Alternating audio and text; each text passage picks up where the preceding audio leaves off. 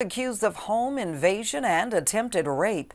It happened just before 3 a.m. when police were called in response to the apartment break-in at the 100 block of Eddy Street. The victim escaped the home and called for help. The suspect, identified as 30-year-old Zachariah Moore of Lake Charles, was still in the apartment. That's where police found him. He apparently entered the victim's home through a bathroom window. He's been charged with home invasion and attempted second-degree rape, and there is no bond set at this time.